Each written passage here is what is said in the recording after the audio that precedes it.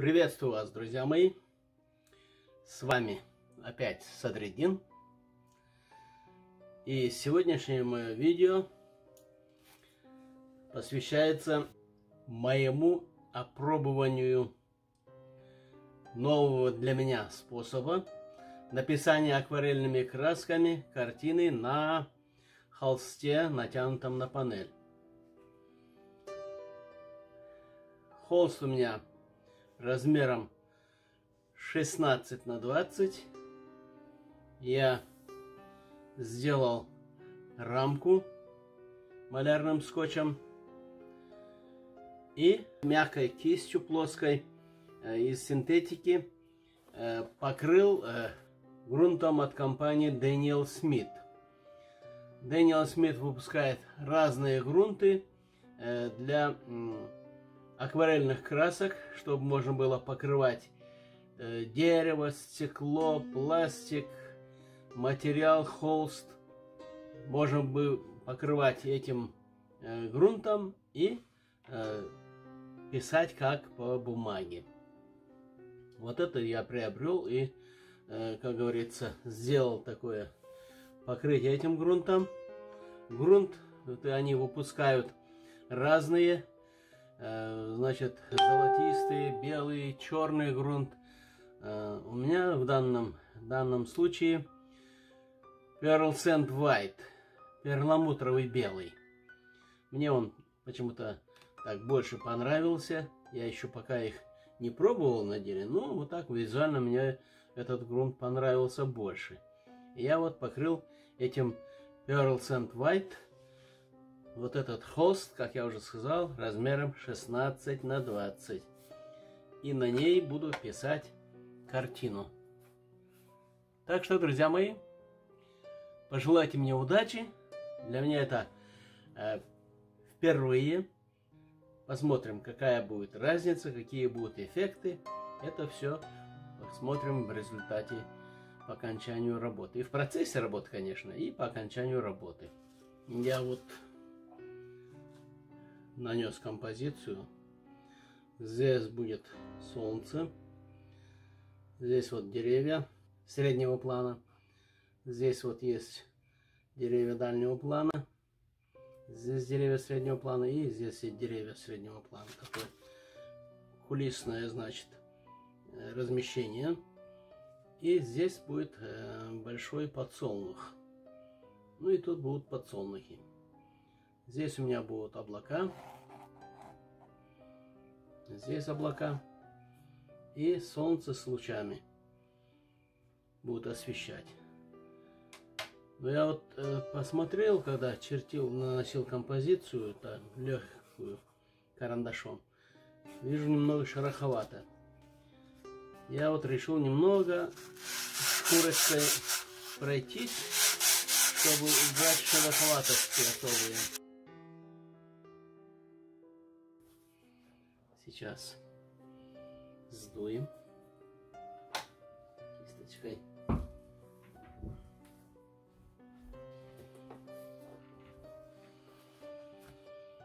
Да, шероховатость убралась. Стала гладко, как бумага. Совершенно другой разговор. Значит, запомните, если будете делать тоже как я, покрывать, значит, грунтом для акварельной работы. Надо будет вот такая у меня э, наждачная бумага, очень-очень тонкая. Вот я хочу вам показать. Вот такая очень тонкая наждачная бумага, которым я обработал поверхность и стало очень приятно на ощупь, как бумага. Вот, друзья мои, я нанес композицию, рисунки сделал более выразительными. Теперь немного нанес маскинг места, которые не должны закрашиваться, а потом буду подправлять необходимым цветом. Но этот инструмент мне не очень понравился. Это кисточка такая, как маркер, плохо наносит, по-моему. Ну, результат посмотрим. По-моему, есть в емкостях жидкие, которые наносятся кисточками. Кисточкой, по-моему, было бы намного эффективнее. Теперь приступаем к рисованию, к живописи акварельными красками, которые у меня есть. Здесь у меня акварельные краски в основном Эмгрема. Это очень пигментированные краски на медовой основе. И немного есть краски Дэниел Смит. Это у меня вот здесь вот Yellow Daniel Smith, Yellow Ochre Daniel Smith, Transparent Red Iron Oxide Daniel Smith краски и Alizarin Crimson. Также Ultramarine Violet краска Daniel Smith, Lavender Daniel Smith, Bloodstone Дэниел Смит. И Марс Блэк у меня Turner Art. Остальные, они все краски, значит, у меня вот Никель Азо Yellow, это Магрема, Indian Yellow, Scarlet Pearl, Quinacridone Red, Ultramarine Blue, Магрема, краска Turquoise, Permanent Green, Viridian Эмгрема и Cobalt Green, краска Эмгрема. Ну и, конечно, я всеми ими не буду пользоваться, но время покажет. Вот эти кисти я сейчас пока замочу, подготовлю. Принстон Нептун. Кисть да Винчи. В основном я, наверное, буду работать этими двумя кистями. Есть еще маленькая круглая кисть синтетика. Так. Если кого-то интересует, значит, большая кисть у меня 30 размер да Винчи. Для меня средняя кисть это четвертый размер Принстон Нептун. Для кого-то это тоже большая кисть, но для меня средняя и маленькая кисть шестого размера Бениси.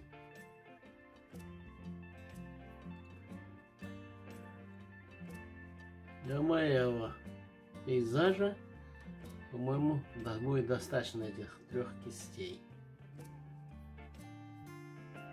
Итак, продолжаем.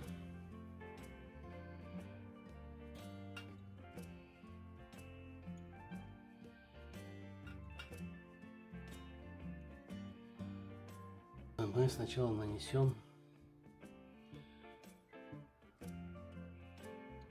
охру его желтую.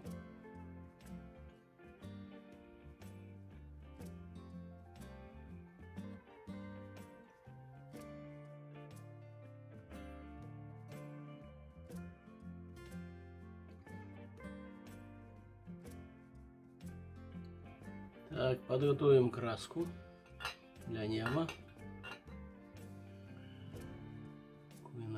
Коридона самую малость.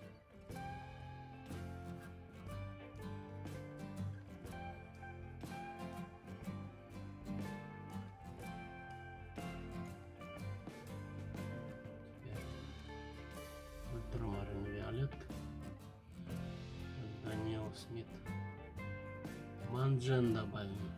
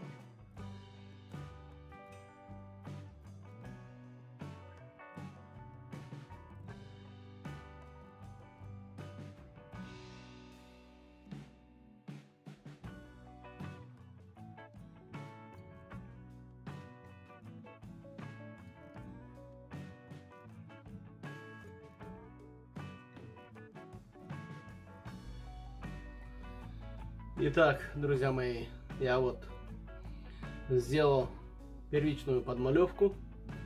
Теперь мне надо будет делать уточнение. Я хочу здесь вот изобразить облака, э, более темные облака, здесь более светлые облака.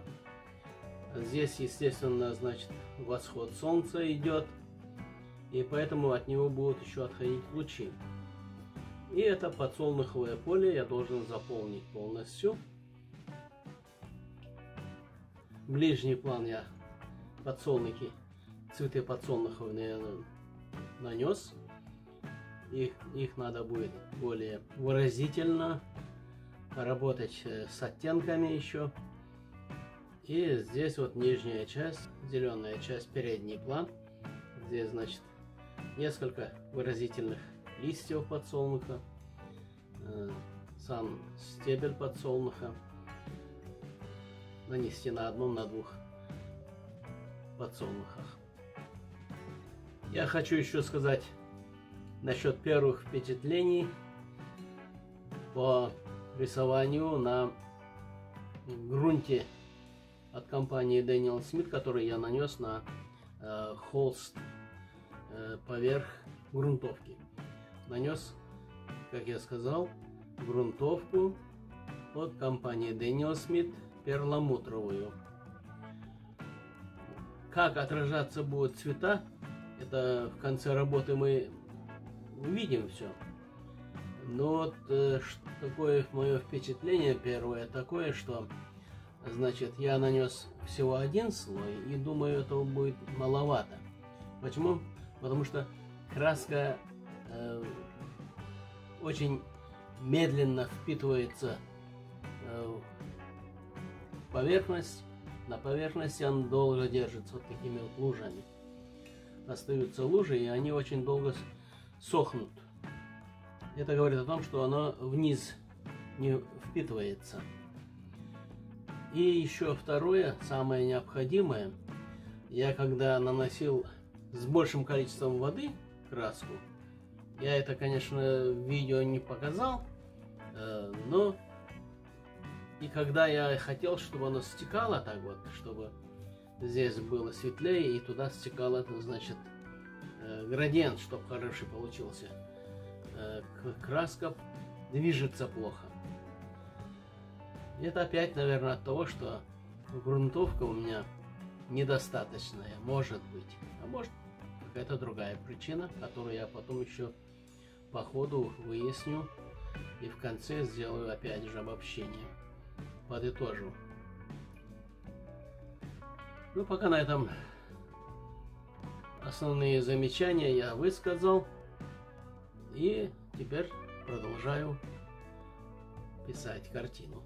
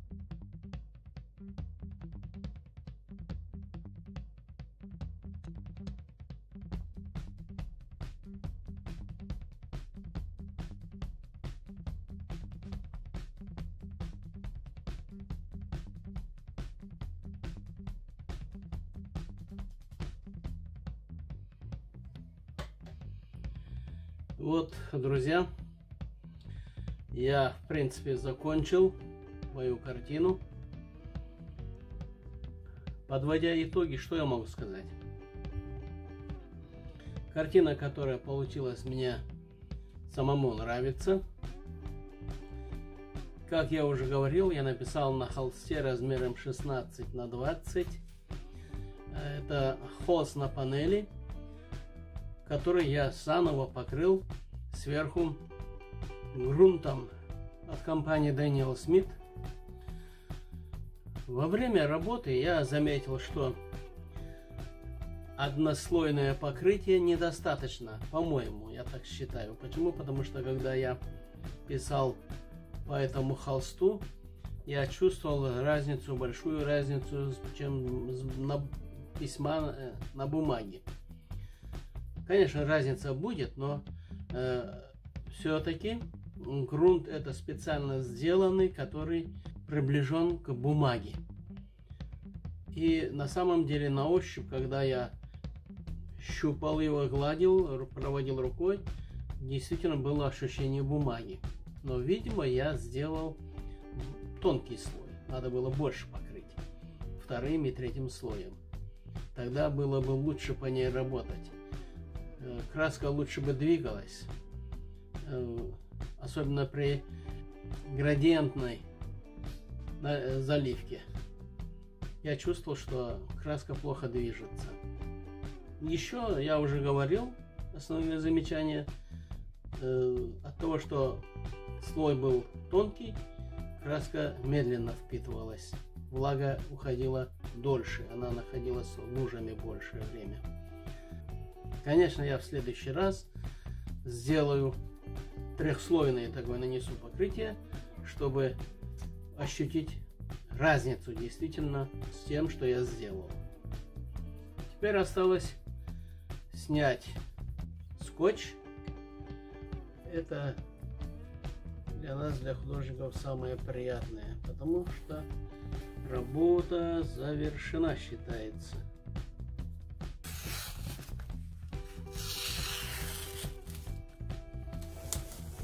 Скотч у меня широкий, поэтому пришлось его заворачивать на обратную сторону. Ну вот, пожалуйста, оценивайте работу. Пишите в комментариях, друзья мои, как вам нравится моя работа, что сделано не так, какие у вас предложения для улучшения этой работы. Я буду только рад вашим комментариям. На этом все. До свидания. С вами был Садридин. Пока-пока. Всего хорошего.